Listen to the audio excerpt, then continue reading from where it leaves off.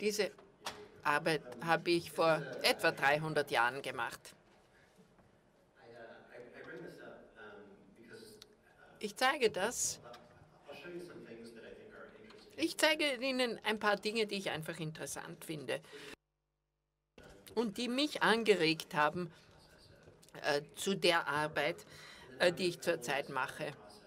Ich werde das Verfahren beschreiben, Ihnen die Techniken zeigen, ähm, werde Ihnen zeigen, wie die Pilze wachsen und dann rede ich über die Philosophie, die hinter dem Ganzen steht.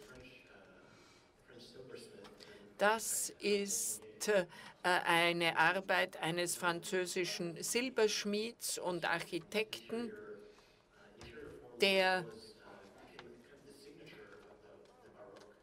irgendwie zum äh, Symbol, zur Signatur des Barock wurde, indem er Künstliches und Natürliches miteinander verbunden hatte.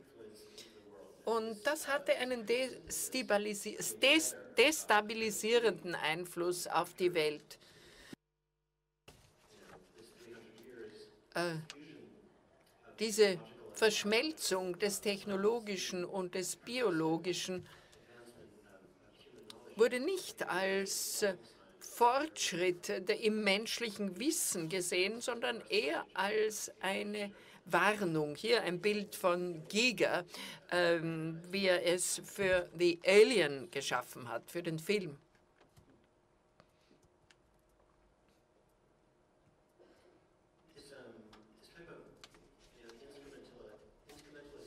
Diese Instrumentalisierung der Technologie oder der biologischen Technologie als Gefäß, als Träger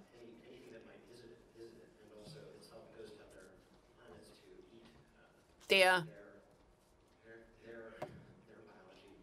alles auffrisst, das kann uns sehr viel darüber aussagen, wo wir mit unserer Biotechnologie stehen und welche Ängste äh, diese äh, hervorruft. Ich weiß nicht, was Sie von Monsanto und anderen Mega-Unternehmen halten, die weltweit mit modifizierten Organismen arbeiten. Aber ich glaube, der Konsens ist doch, dass es sich hier um Unternehmensmonster handelt, die alles auffressen und auf diese Weise ähm, den Planeten umgestalten, immer das eigene, den eigenen Nutzen im Sinn habend. Also das war soweit die Präambel. Jetzt zeige ich Ihnen, wie Pilze wachsen. Das ist das Innere eines Baumes der von einem Pilz aufgefressen wird. Ein Pilz, das, was wir Pilz nennen, ist ja nur das Reproduktionsorgan, denn äh, der Pilz lebt ja in der Erde oder in anderen Organismen und verdaut diese. Der Pilz hier ist das weiße Material, das das Holz umgibt. Ähm, einschließt und verdaut.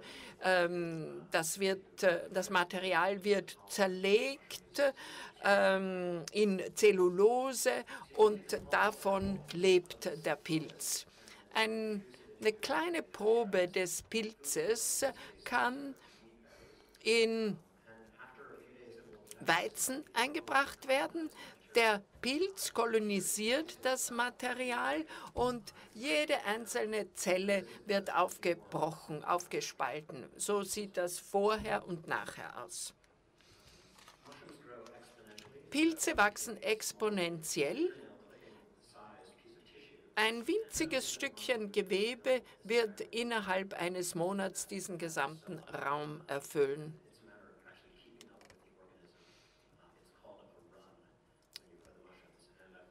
Ich habe gelernt, dass man das als Lauf des Pilzes bezeichnet und eigentlich müsste man selbst äh, davon laufen. Das ist, der pasteurisierte, das ist das pasteurisierte Sägemehl, in dem äh, Pilzgewebe eingebracht wurde und Pilze wachsen in diesen Säckchen. Das ist ein SEM-Bild. Das zeigt, was die Pilze wirklich machen. Das sind die Pilzzellen. Und diese Querverbindungen, diese Fasern, da verschmelzen die Zellwände, wenn sie miteinander in Kontakt kommen. Und so entsteht eine starke Matrix. Und der Pilz hüllt, umhüllt diese Matrix.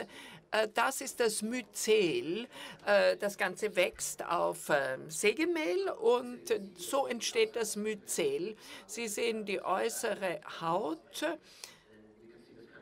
und die Perforierungen oben da kann man in die Matrix hineinblicken. Es ist überhaupt kein Holz mehr vorhanden, völlig verdaut und eine hundertprozentige Biokonversion findet durch den Pilz statt. Wenn man mit Holz beginnt, hat man nach einer bestimmten Zeit reinen Pilz.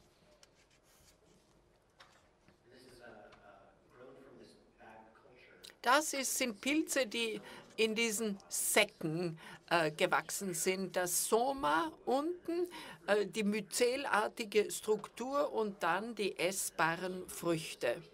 Und diese Früchte entlassen wieder ihre Sporen in die Luft. Ich werde Ihnen die Dinge jetzt nicht chronologisch zeigen.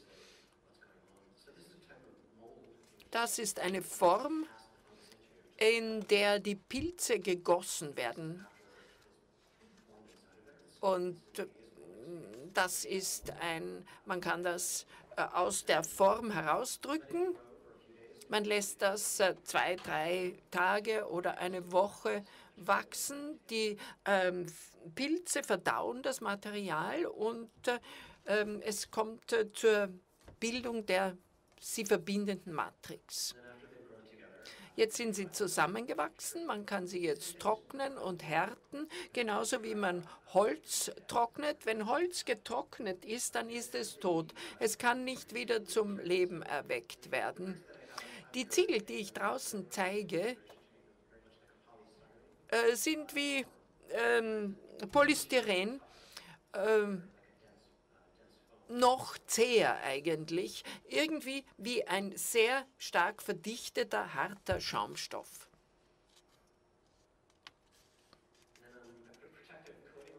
Ich habe eine Schutzbeschichtung angebracht, so wie man es bei Holz macht, kann man das auch beim Pilz machen, wenn man den für irgendwelche Zwecke einsetzen will. Und dann kann man das bearbeiten, genauso wie eine Spanplatte oder wie Holz. Man kann die Pilze auch noch, auch, man kann die Pilze auch bearbeiten, solange er noch am Leben ist, also nicht völlig ausgehärtet. Ich habe hm, lokal gezogene organische Pilze äh, in Kalifornien verwendet, um Holz äh, zu beseitigen. Dieses Holz kommt von Bäumen, die in einem Sturm entwurzelt wurden.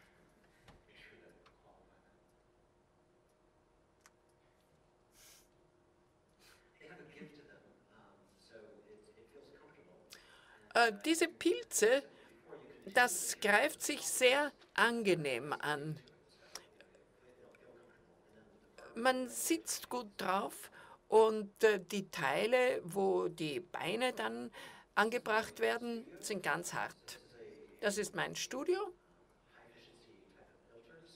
Ein äh, Hocheffizienzfilter, äh, aus dem sehr, sehr saubere Luft kommt. Das ist absolut äh, notwendig. Die Mikroorganismen müssen alle aus der Umwelt entfernt werden. Wenn ich da arbeite, muss alles extrem sauber sein, äh, von der Decke bis zum Fußboden. Was immer in diesen Raum hineinkommt, muss extrem sauber sein, auch ich.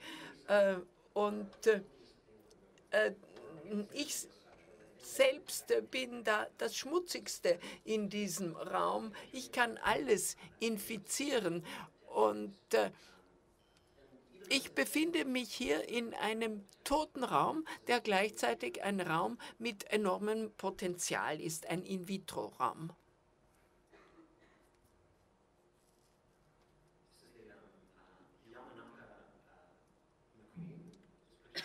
Das ist Yamanaka McQueen.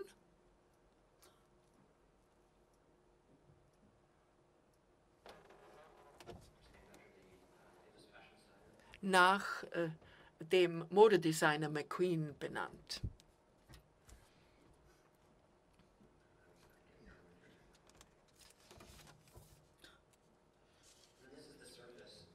Das ist die Oberfläche. John Cage, der ja die New York Mycological Society gegründet hat, ist ein Pilzsammler. Und diese Oberfläche entstand durch äh, zufällige Wassertropfen auf dem Myzel. Ein rein zufälliger Prozess, der dazu beiträgt, dieses biologische Gemälde zu schaffen.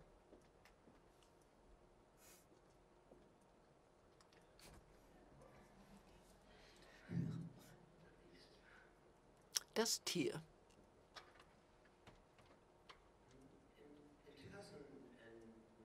2009 hat die Kunsthalle in Düsseldorf mich eingeladen, an der Eat Art am 25. im 25. Jahr der Eat Art teilzunehmen.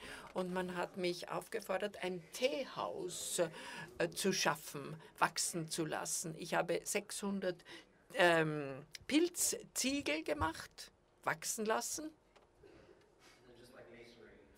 Und das wird dann zusammengefügt wie Mauerwerk rund um diesen Bogen. Äh, so entstand diese Struktur. Meine Frau Monika, die ähm, dort äh, den Tee serviert hatte an die Besucher.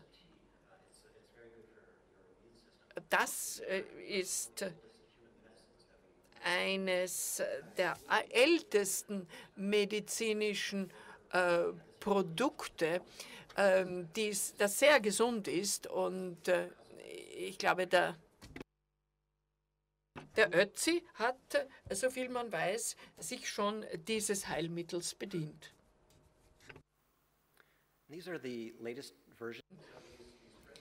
Verschiedene Versionen der Ziegel.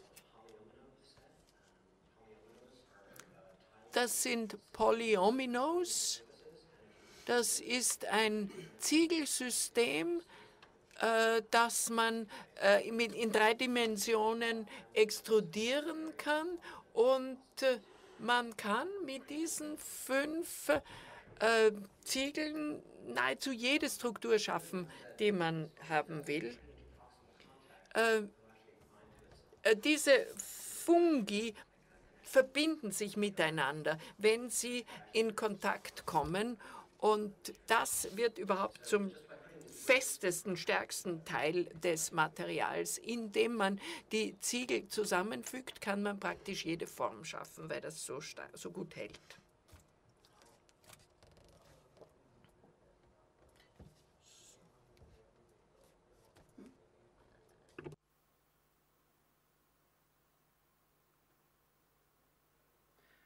And the, uh, the set that I have here, this was grown to Das sieht fast aus wie Lego-Steine.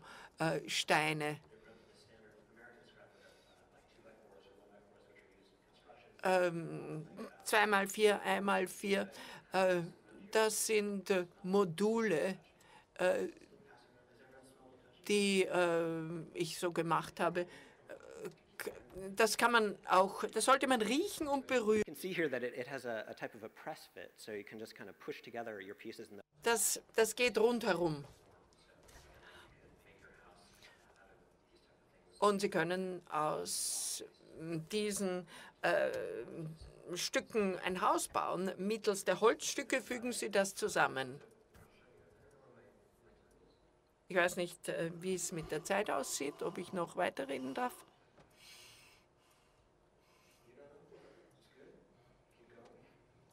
Ja, kann ich noch weitermachen?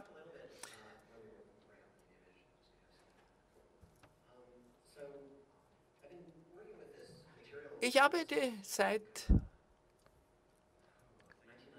1995 mit diesem Material. Ich hatte in einem Hospiz gearbeitet Und als die AIDS-Krise in San Francisco ausgebrochen ist, sind so viele Menschen daran gestorben und 20 Prozent der, äh, meiner, der Studenten, die mit mir studiert haben, sind äh, möglicherweise schon tot. Damals gab es noch keine Antiretroviren äh, für diese todkranken Menschen. Und äh, über die chinesische Medizin bin ich äh, zu den Pilzen gekommen, die dazu beitragen, das Immunsystem zu stärken. Das hat eine lange Tradition.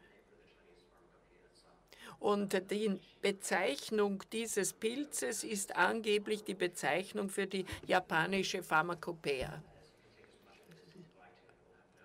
Man kann so viel davon einnehmen, wie man will und spürt keine Nebenwirkungen. Also ich habe begonnen, mit diesem Material zu arbeiten. Ich habe das als Heilmittel betrachtet, als Werkstoff. Und als ich angefangen habe, dieses Haus zu bauen, 2005, da hatte ich nicht wirklich eine Vorstellung davon, ob dieser Werkstoff sich eignet für ein Gebäude. Aber je mehr ich äh, es äh, getestet habe, desto mehr habe ich gelernt über die unglaublichen Eigenschaften, die es hat. Und ich werde am Montag wird äh, die American Society of Composites eine Arbeit von mir veröffentlicht werden über die Werkstoffeigenschaften. Und die Polymere verhalten sich genauso wie, wie Kunststoffe. Sie brauchen, dieses Material braucht 10 Prozent der Energie und 10 Prozent des Wassers, das man für ein anderes Material brauchen würde. Und es ist völlig biologisch abbaubar. Wenn Sie äh, daraus nicht Tee machen wollen, können Sie das zumindest auf den Komposthaufen werfen. Es gibt bereits ein Unternehmen, das äh, dieses Material kommerziell vertreiben wird. Ich bin da irgendwie von der Kunstwelt in die kommerzielle Welt gelangt. Äh, wir haben um ein Patent angesucht für das Verfahren, das diese hochdichten Materialien herstellt. Und Idealerweise sollte dieses Material viele Kunststoffe ersetzen können, die wir heute verwenden. Es ist eine sehr komplizierte Sache. Äh, für einen jungen Menschen, der äh, Künstler äh, werden will, der braucht wahrscheinlich einen Abschluss, ähm, der braucht ein, ein Jurastudium oder auch ein Studium der Biochemie, um das alles verstehen zu können. Die Innovationen, die man schafft, wenn man sie nicht selbst schützt, dann machen das andere. Daher ist es wichtig zu verstehen, wie man das, was man selbst geschaffen hat, rechtlich schützen kann, wie man sein geistiges Eigentum schützen kann. Und dabei möchte ich es jetzt einmal belassen.